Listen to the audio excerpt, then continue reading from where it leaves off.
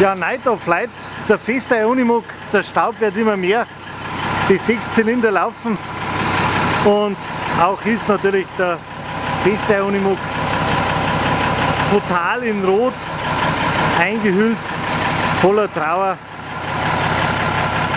Ein Zeichen für die Regierung, um diesen Tod an Kulturgut aufzuhalten. Liebe Regierung, nutze die Chance, gib uns unser Leben zurück.